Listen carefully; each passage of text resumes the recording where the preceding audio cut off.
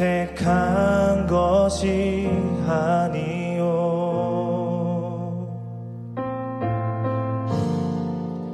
내가 너희를 택하여 세워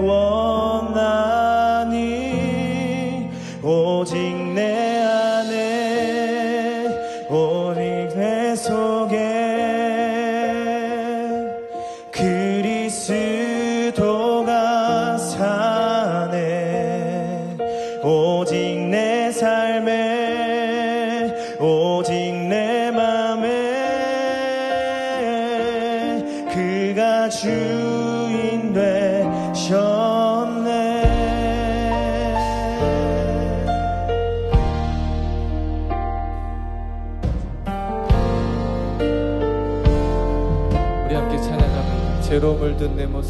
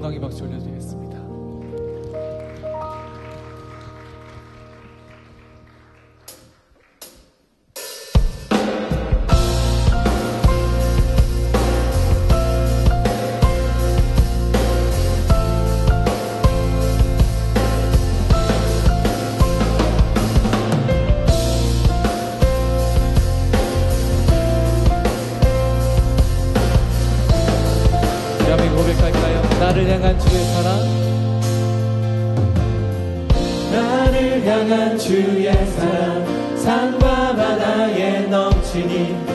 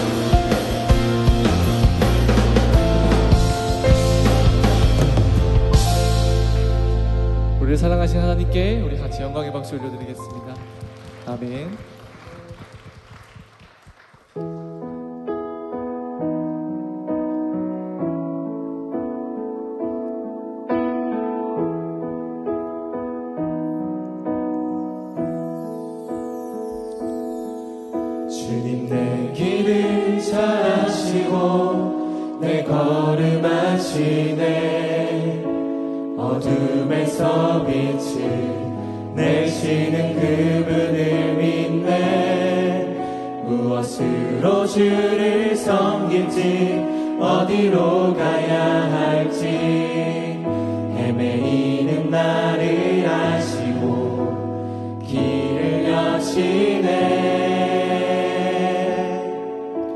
내 삶은 주의 것내 삶은 주의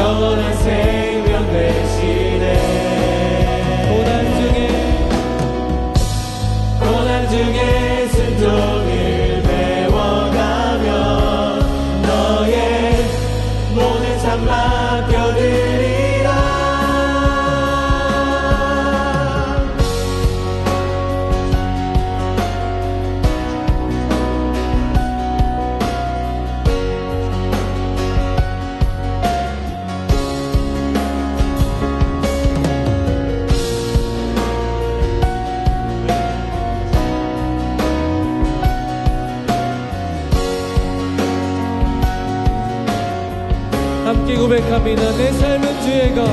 내 삶은 주의 것 내 삶은 주의 것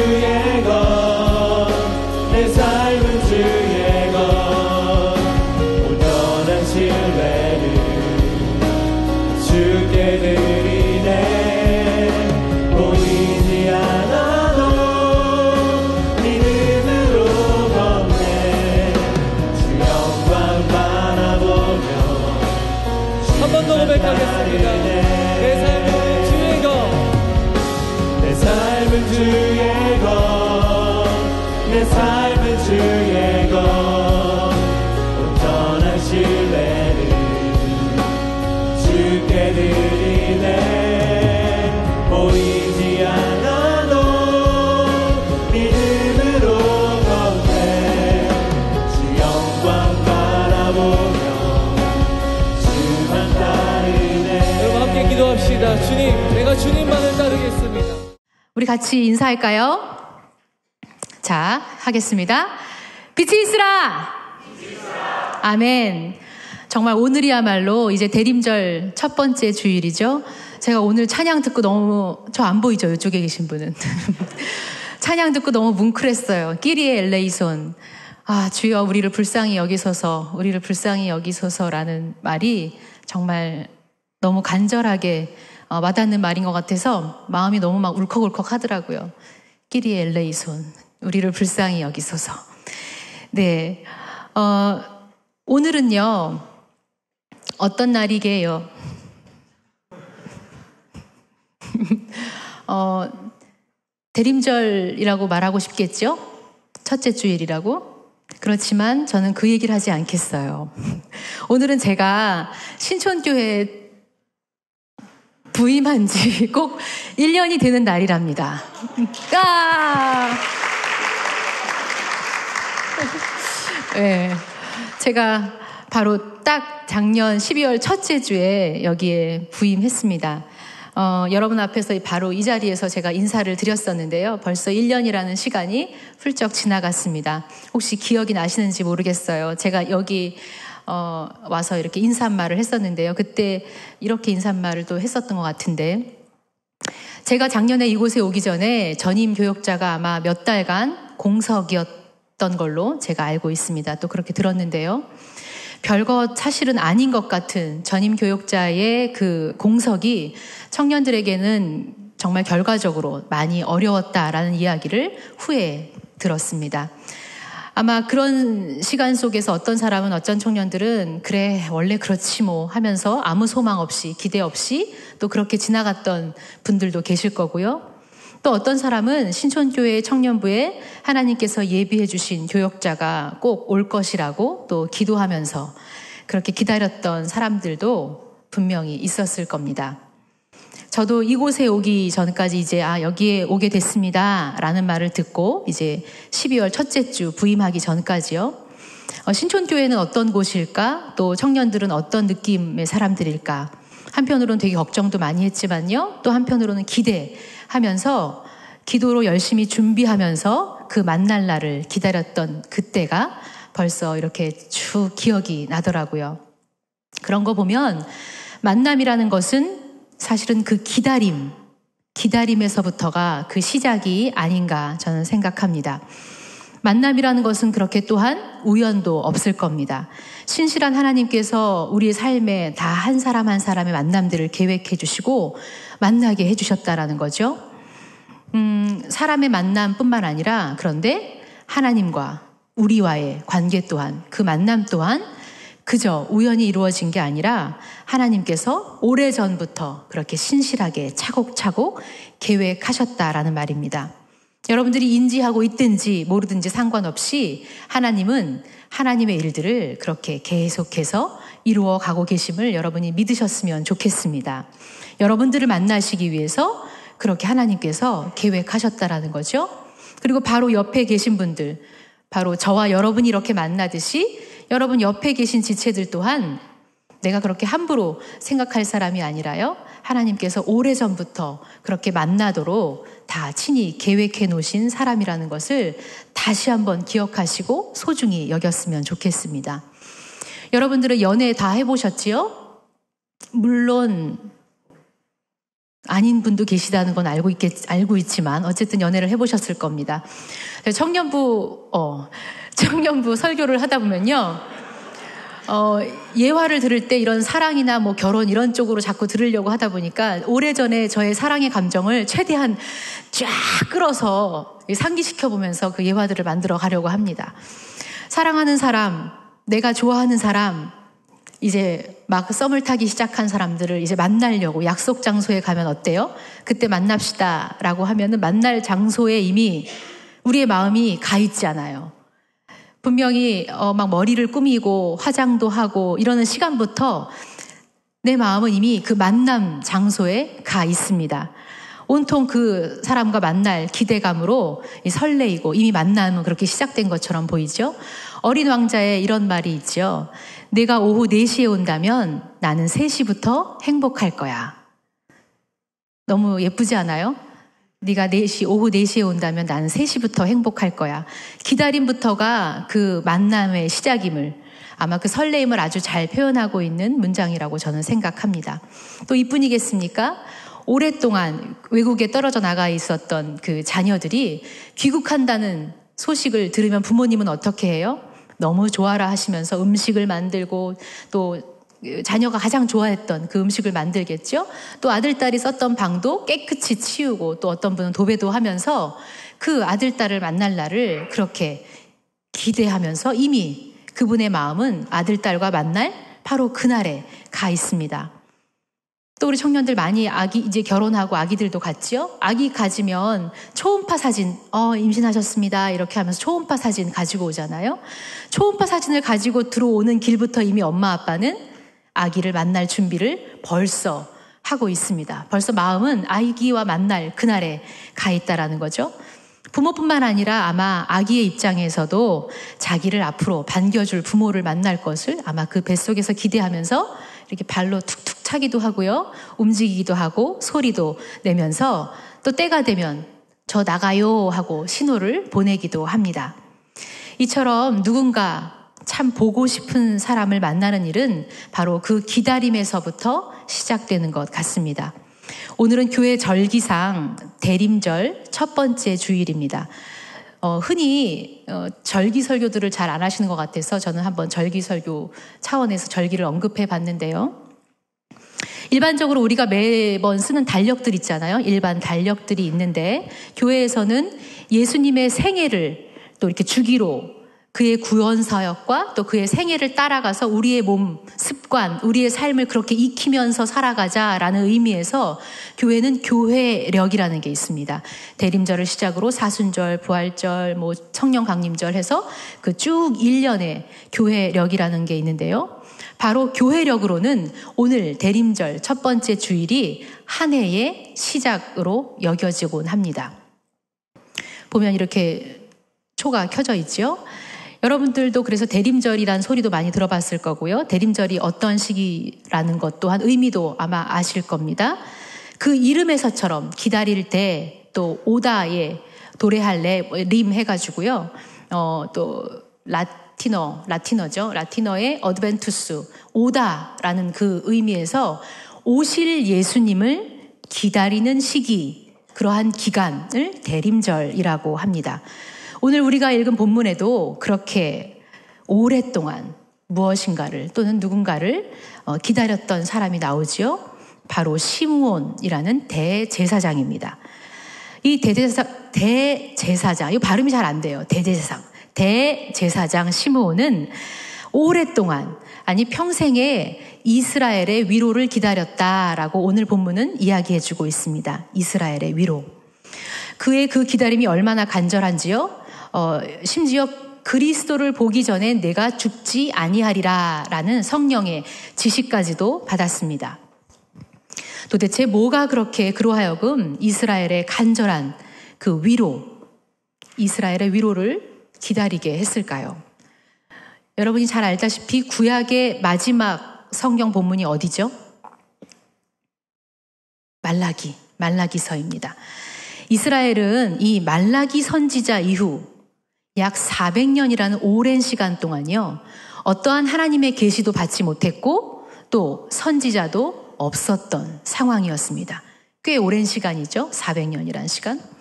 아마 신촌교회 전임교역자가 몇 달만 공석으로 있다, 해, 있다고 한 후에 그리고 제가 왔을 때도 여러 청년들이 어, 그 시간이 너무 힘들었습니다. 라고 말할 정도인데요.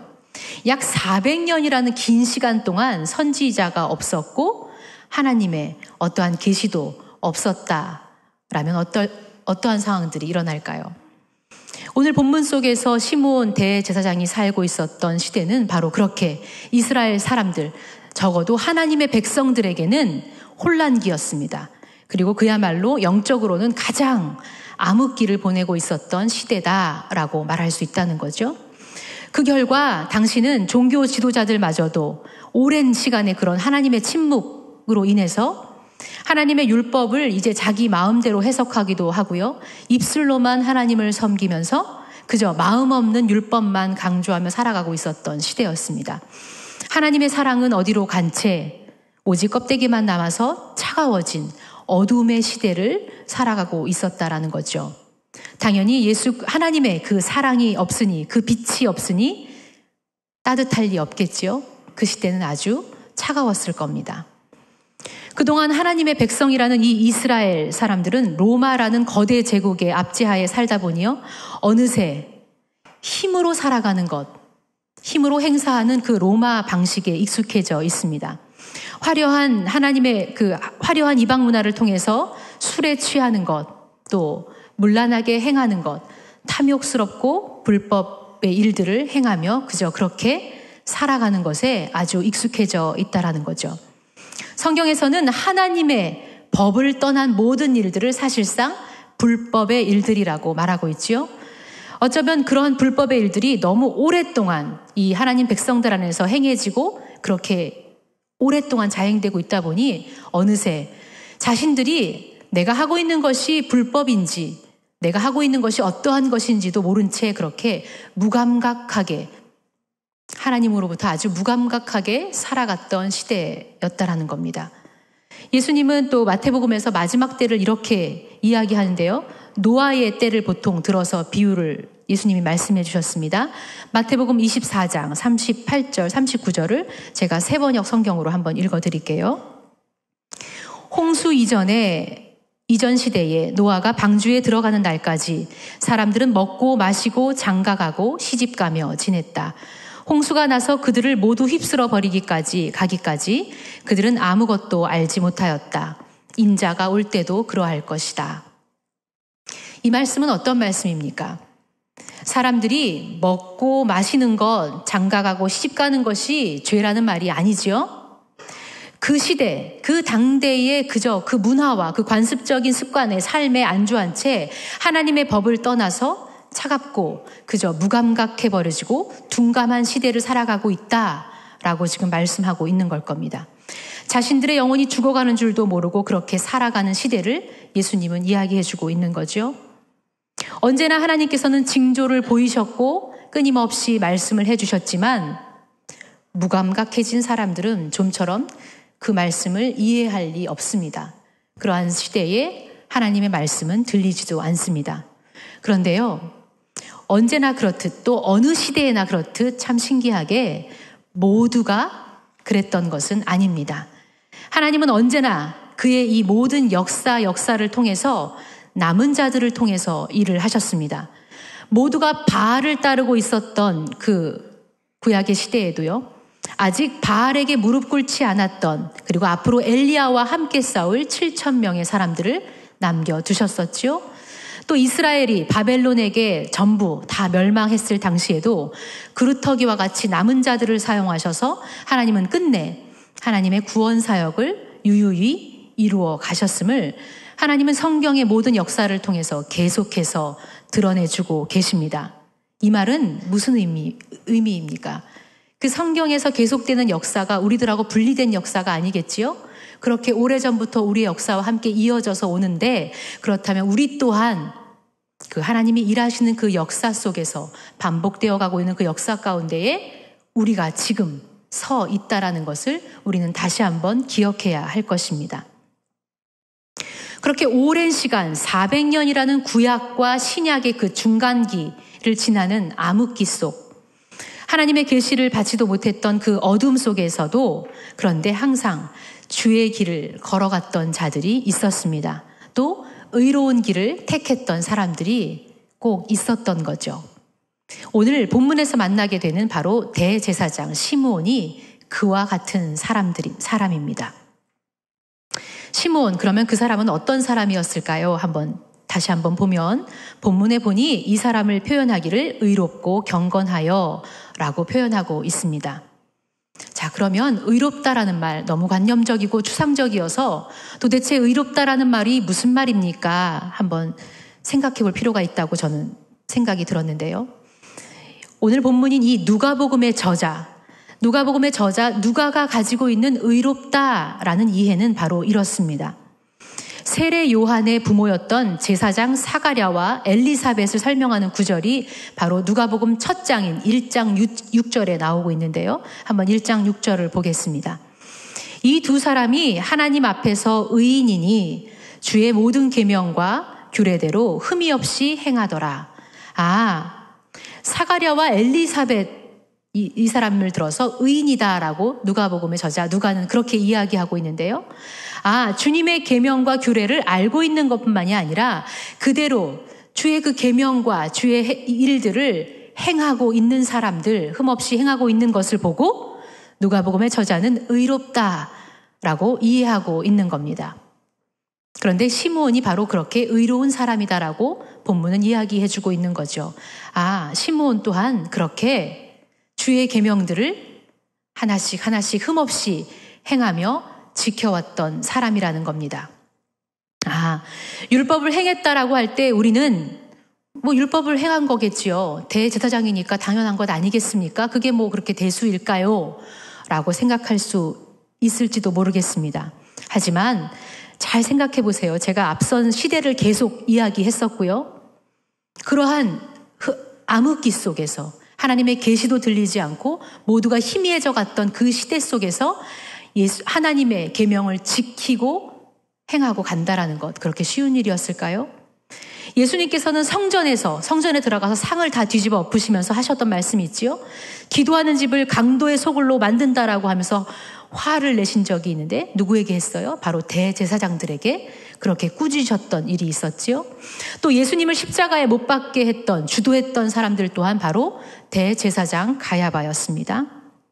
또 400년 동안에 그렇게 왜곡으로 대제사장들조차도 하나님의 뜻을 잃어버린 채 살아갔던 시대였다라는 거죠. 그러나 시므온은 그런 중에 하나님의 말씀을 늘 가까이 하며 그 하나님이 주셨던 그 계명대로 지키며 행하고 살아갔다라는 겁니다. 시대가 아무리 차갑다 할지라도 아무리 어렵 어둡다라고 할지라도 모두가 그래 그냥 이렇게 가는 거야 하는 그 방향이 아니라 하나님 말씀이 옳다라고 분명히 말씀해 주셨던 그 방향, 그 길을, 길을 따라서 또 그 믿는 바를 따라서 결정하고 행했던 사람들을 의롭다라고 누가가 이해했다라는 겁니다. 아무도 믿지 않아도 또 구약에 그런 사람이 있죠. 대표적으로 당대의 의인이다라고 아예 대놓고 표현을 해주었던 구약의 인물이 있습니다. 누구이죠? 아무도 믿지 않아도 하나님이 주셨던 그 말씀 따라서 시대를 거스르며 살아갔던 구약의 인물 바로 노아였죠. 노아. 노아를 들어서 성경에서는 당대의 의인이다 라고 표현했습니다. 시대를 거스르며 믿는 바를 따라서 그렇게 묵묵히 갔던 사람이 그러니 오늘 본문에 나왔던 바로 시므온이라는 거죠.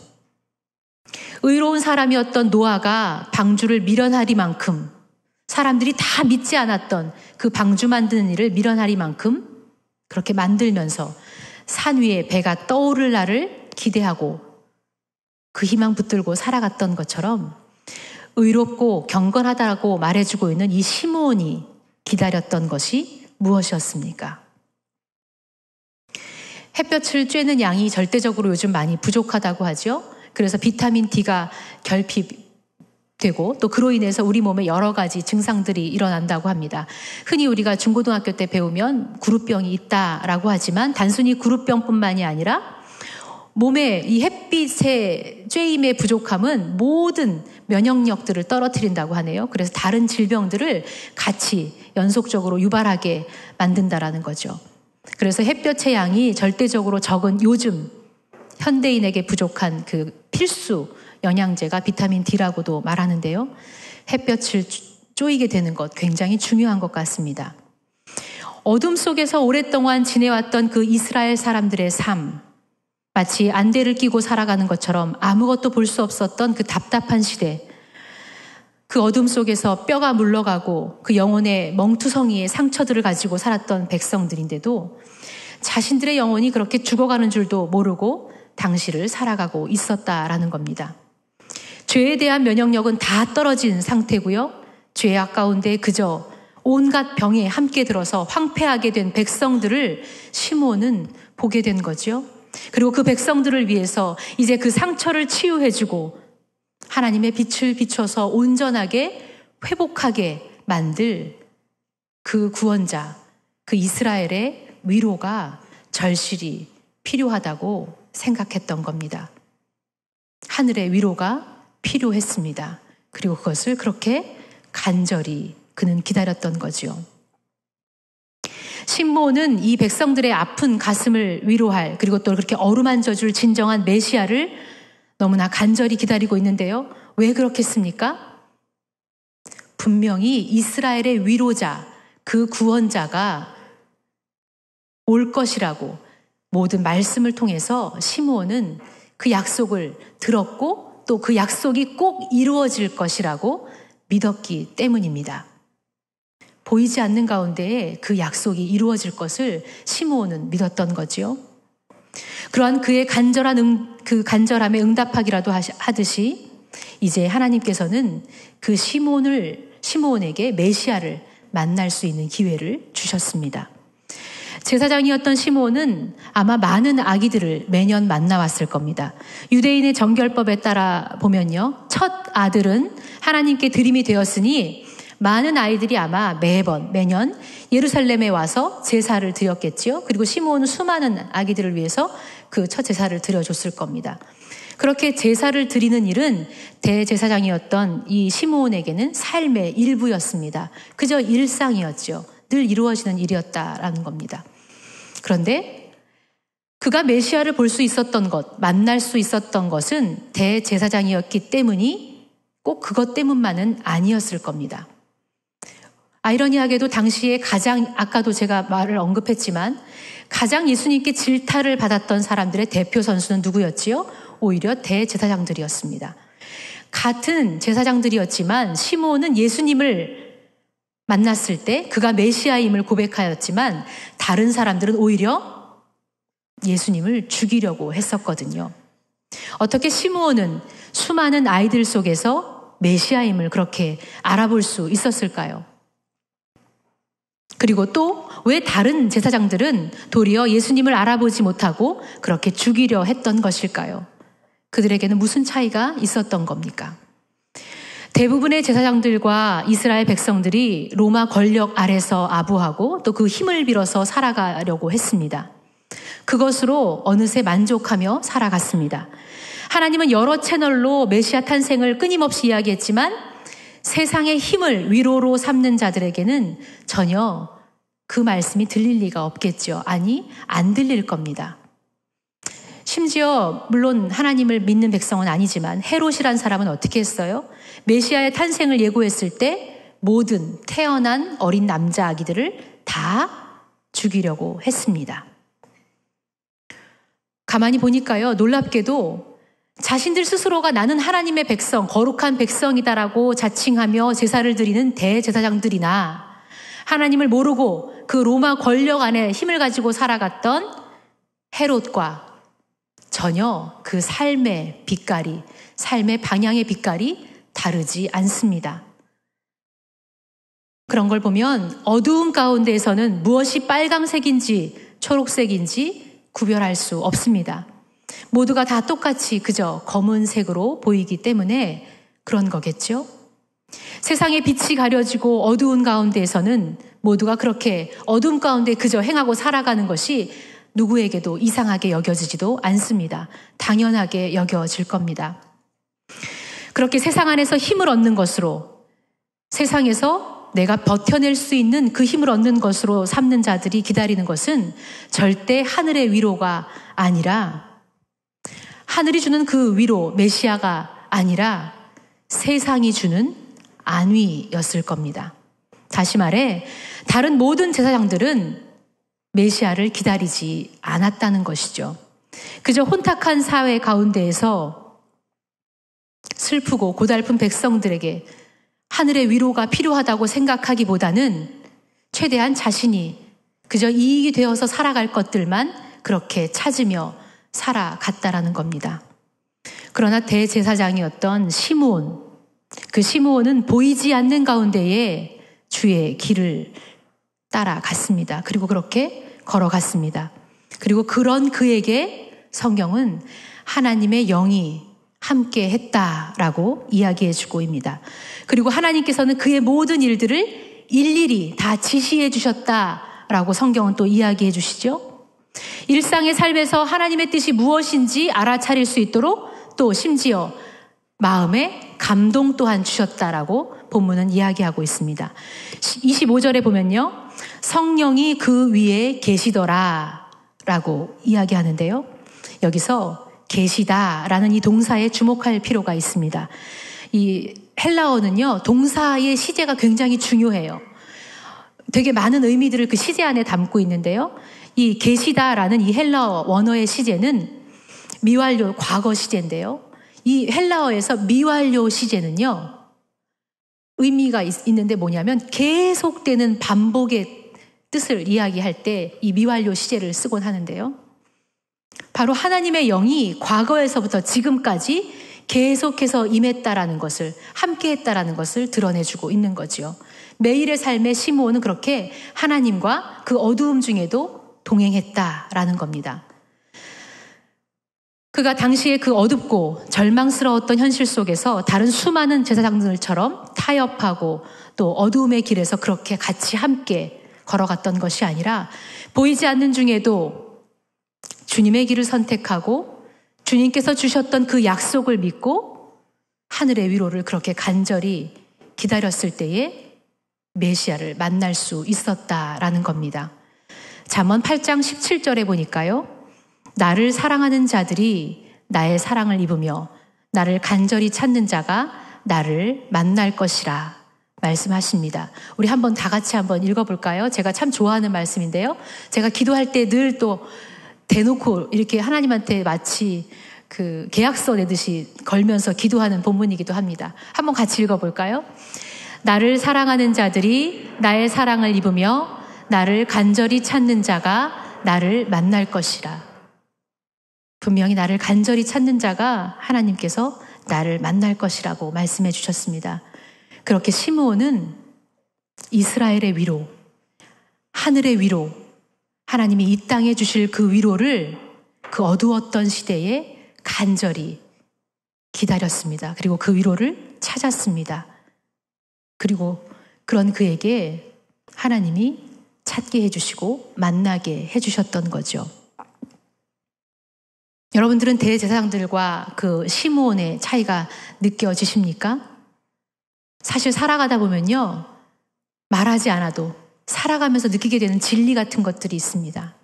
보이지 않는 것을 따라서 묵묵히 걸어낼 때에 그러한 사람들만에게 보여지는 사실 놀라운 그러한 신비 같은 일들이 분명히 있습니다. 그런데 보이는 것에 주목하면서 나를 그렇게 재촉하며 살아가면요. 절대 우리 신앙 안에서 놀라운 것, 그 너머의 일들을 발견하게 되는 눈은 그럴수록 닫혀간다라는 그것. 살아가면서 정말 진리라고 저는 말할 수 있습니다.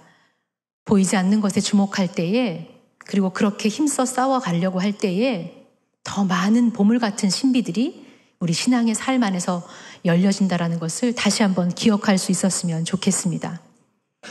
여러분들은 대림절을 이제 시작하면서 어떠한 메시아를 나는 기다리고 있는가? 또 예수님의 탄생은 또 이 땅에 늘 그렇게 해서 수많은 이야기들을 하듯이 구원자가 오신다라는 것은 무슨 의미인가? 한번 다시 한번 이 시기에 우리는 생각하고 지나갔으면 좋겠습니다. 바로 오히려 이런 시대의 말로 메시아가 그 하늘의 위로가 간절히 기다려지는 시대가 오늘 우리가 살아가는 시대가 아닌가 생각해 봅니다. 어둠 속에서 살아가는 우리의 일상이 너무 그저 일상이 되어 버렸습니다. 우리들의 영혼이 너무 파리해져 가고요. 사람들의 영혼이 힘이 없어 보입니다. 눈물과 아픔이 또한 우리뿐만 아니라 이 땅에서 가시지를 않습니다. 우리들은 그래도 주님을 믿는다라는 소망이 있는데요. 이 땅에 그냥 일어나는 일들을 보면 전혀 소망이 없는 것처럼 보입니다. 또 모두가 믿음으로 살아가려고 그렇게 하지도 않아요. 애쓰지도 않는 것 같습니다. 또 믿음의 길을 선택하며 오히려 그렇게 고지식하게 찾아갈 때에 사람들은 이야기하죠. 유난 떨지 말라고 이야기하기도 합니다. 하나님의 계명을 지키는 일은 어떨 때 보면 우리와 너무 멀리 있어 보이고요. 말로는 보이지 않는 분을 믿음으로 고백할 때에 구원을 얻는다라고 우리가 믿는 하나님이 바로 그런 하나님이라고 고백은 하지만 정작 우리는 그 이후에 보이지 않는 하나님을 믿음으로 그렇게 따르며 살아가고 있는 것 같지도 않습니다. 우리 그렇게 세상의 안위를 바라며 그것을 원하며 살아가기보다 이제 정말 진정으로 하나님께서 주시는 위로가 나에게 또 이 땅에 필요합니다. 라고 주목하며 간절히 찾으며 그렇게 다시 한번 지낼 수 있었으면 좋겠습니다. 온전히 우리 안에 진정한 평안을 주실 분, 나의 삶의 저 깊은 수렁에서 나를 건져 주실 분이 바로 예수님이심을 그렇게 다시 한번 매듭 짓고 갈 수 있었으면 좋겠습니다. 어둡다고 해서 없는 것은 분명히 아닙니다. 저는 우리 청년부에 예수님의 위로가 정말 간절히 임하기를 매일 기도하고 있습니다. 그리고 이 예배 안에서, 이 청년부 예배 안에서 예수 그리스도의 이름을 부르는 자들마다 그 이름에 의지하는 자들마다 세상이 주지 않는, 세상이 줄 수 없는 그 위로가 이 예배 가운데에 임하기를 그렇게 간절히 기도하고 있습니다. 그런데 이 예배 안에서 우리가 하나님의 이름을 그렇게 부르지만 언제나 침묵하고 있는 것 같은 응답하지 않는 상황. 아마 그런 답답한 우리들의 상황은요, 마치 이스라엘의 400년이란 침묵의 시간과도 비슷할지도 모르겠습니다. 그리고 그러한 속에서 여전히 희망을 가지고 살아간다는 것 쉬운 일이 아닐 겁니다. 보이지 않는 것을 믿음으로 믿고 그렇게 따라가고 걸어가고 모두가 아니야 라고 그렇다 라고 말할 때 우리는 아니야 라고 말하면서 세상을 거스르며 살아가는 일은 분명히 쉬운 일은 아닙니다. 그런데요, 다시 한번 기억할까요? 일제 강점기에서요. 이제 일제의 다스림을 그저 받아들여야 되지 않겠느냐. 이 다스림 안에서 오히려 살아갈 방법을 찾는 것이 나을 것이라는 지식인들의, 수많은 지식인들의 이야기가 있었지요. 아마 충분히 그들에게 그들이 그렇게 하는 말이 설득력이 있었을 겁니다. 왜냐하면 당시에 일본은 중국과의 전쟁에서도 러일 전쟁에서도 승리하면서 도저히 이길 수 없는 막강한 나라처럼 보였기 때문입니다. 그래서 어떤 면으로는 일제의 통치를 그저 받아들이고 수긍하고 살아가는 게 맞아 보일 수도 있었을 겁니다. 그게 당연해, 당연한 일이라고 말할 수도 있었을 겁니다. 그런데 그 속에서도 보이지 않고 희미하지만 분명히 그날이 올 것이라고 독립을 꿈꿨던 사람들이 있었습니다. 모든 인류의 첫 그 인류의 마치 멸망처럼 홍수로 멸망하기 직전에 모두가 임하지 않을 것 같은 바보 같은 일이라고 하지만 그것을 끊임없이 그 희망을 바라보며 하나님이 주셨던 약속을 믿고 따라갔던 노아가 있었습니다. 그리고 시므온이 어떤 의미로는 바로 그러한 사람일 겁니다. 로마 같은 그 시대에서 적당히, 적당히, 적당히 하면서 살자고 하겠지만 분명히 하나님께서 주신 예언이 성취될 것이라고 믿었던 사람이었을 겁니다. 대림절이라는 시간, 이렇게 초를 하나씩 첫째 주, 둘째 주 이렇게 하면서요. 하나씩 하나씩 켜면서 이제 시작해 갑니다.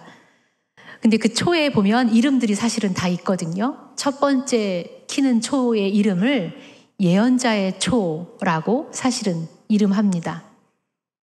그리고 그 첫 번째 초를 켜는 이제 이 한 주간의 이 한 주를 뭐라고 말하냐면요.